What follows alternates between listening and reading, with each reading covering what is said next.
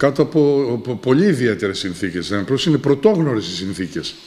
Ε, θα είμαστε αύριο το πρωί, όπως ξέρετε, στην Καραδόνα. Με αυτό που κάνουμε κάθε χρόνο.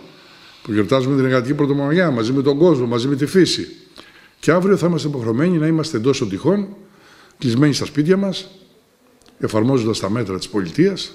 Δεν μπορεί να γίνει και διαφορετικά αυτό το τρίμερο. Τέλος πάντων, μέχρι να δούμε από Δευτέρα, σιγά σιγά με αυτή που λέμε την απελευθέρωση, σιγά σιγά, τι μέλη γενέσαι το επόμενο δίμηνο, τρίμηνο, τετράμινο, εξάμηνο. Οι ειδικοί, μόνο οι ειδικοί δεν είναι, αλληλοσυγκρούνται μεταξύ τους για το πότε τέλος πάντων θα βρεθεί το εμβόλιο ή δεν ξέρω τι άλλο μπορεί να βρεθεί. Αλλά τέλος πάντων, εμείς κάνουμε αυτά που πρέπει να κάνουμε στην καθημερινότητά μας. Και αύριο, δυστυχώς, δεν θα μπορέσει να γίνει οποιαδήποτε εκδήλωση, απαγορεύεται. Αλλά και να μην την απαγορεύει η πολιτεία με τα μέτρα που έχουν πάρθει, δεν θα μπορούσε να γίνει όπως το καταλαβαίνετε. Βέβαια, τα μηνύματα παραμένουν αναλύωτα για δημοκρατία, για δικαιοσύνη, για ισότητα. Αυτά είναι τα μηνύματα, τα αναλύωτα της ε, Πρωτομαγιάς. Και ίσως θα έλεγα ότι και τις, κάτω από τις σημερινές συνθήκες να αποκτούν και ιδιαίτερη βαρύτητα με αυτά που γίνονται σε παγκόσμιο επίπεδο, που η νέα τάξη πραγμάτων θέλει να χειραγωγήσει τους πάντες και τα πάντα, η περίφημη παγκοσμιοποίηση και η οποία έχει σοπεδώσει τα πάντα.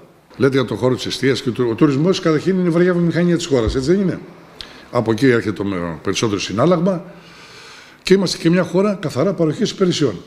Ω εκ τούτου λοιπόν κρίνονται τα πάντα ότι αν θα δουλέψει ο επαγγελματίας, όπως είπατε, το εστιατόριο, το καφεμπάρ, το ξενοδοχείο, με τα μέτρα που έχουν ληφθεί, δυστυχώς δυσχεραίνουν κατά πολύ να μπορέσει να λειτουργήσει ο επιχειρηματίας. Διότι ούτε μπορεί να αναπτύξει όλα τα τραπέζια, ούτε τα μέτρα που πρέπει να πάρει με βάση την εγκύκλιο που έχουν βγάλει, ξέρετε κάτι, ευνοούν τον, τον πελάτη για να μπορέσει να μην φοβάται και να πάει απρόσκοπτα να καθίσει σε ένα τραπέζι όταν ακόμα του δεσμεύει και του λέει μέχρι τέσσερα άτομα και αυτά θα είναι σε απόσταση δύο μέτρα το καθένα. Όπως τα ξενοδοχεία τώρα, μην επεκταθούμε, με τα 12 μήνες διάρκειας, με τα αποχιακά που θα ανοίξουν 1η Ιουλίου και δεν θα ανοίξουν τα περισσότερα, ήδη το έχουν ανακοινώσει με τους μισούς υπαλλήλους. Καταλαβαίνετε λοιπόν με τους εργαζόμενους που δεν θα πάρουν τα ανάλογα ένσημα, που δεν θα μπορέσουν να πάρουν ανεργία το χειμώνα. Δηλαδή, καταλαβαίνετε, το χειμώνα θα είναι ένα τσουνάμι από τέτοια προβλήματα και από διεκδικήσεις και δυστυχώς και από φτωχοποίηση. Γιατί από τη στιγμή που θα λείπει το μεροκάματο και το εισόδημα από μια οικογένεια, έχει ήδη, έχουν μείνει και τα κατάλοιπα από τα 10 χρόνια των μνημονίων, έρχεται και ο κοροναϊός την δεδομένη στιγμή Οπότε δημιουργεί τέτοιες καταστάσεις, οι οποίες εγώ πιστεύω ότι το χειμώνα θα, είναι πάλι, θα γυρίσουμε πάλι 10 χρόνια πίσω. Θα ζήσουμε καταστάσεις του 2010, ίσως και χειρότερα. Αυτό σας λέω δεν θα ανοίξουν πολλά ξενοδοχεία όπως θα γίνει και στη Χαλκιδική, όπως έγινε στην υπόλοιπη Ελλάδα και είμαστε σε επαφή κάθε μέρα. Δεν συμφέρει μεγάλη μονάδα εποχιακή να ανοίξει. Δεν συμφέρει, τεράστια τα κόστη. Συν ότι εγκυμονεί ο κίνδυνος όταν έχει μια μονάδα 3.500 εποχικούς εργαζόμενους, να σκάσει ένα κρούσμα κοροναϊού και μετά να εμπλακεί σε μια διαδικασία από την οποία δεν βγαίνει με τίποτα. Είτε όταν έχει 20-25% πληρότητα.